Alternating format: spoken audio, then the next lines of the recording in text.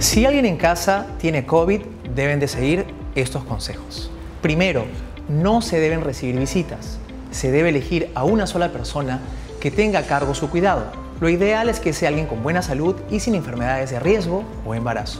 La persona encargada de cuidar al paciente tiene una gran responsabilidad y debe usar una mascarilla limpia cuando atienda al paciente, mantener la distancia física y evitar hablar frente a frente con el paciente. Utilizar mascarilla también cuando manipula ropa o utensilios del paciente. Lavarse las manos frecuentemente.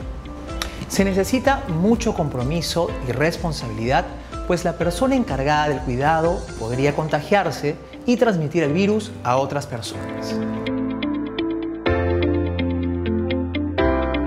Para los demás miembros del hogar, se recomienda lavarse frecuentemente las manos, en especial luego de usar el servicio, mantener los cubiertos, ropa y utensilios del paciente separados del resto.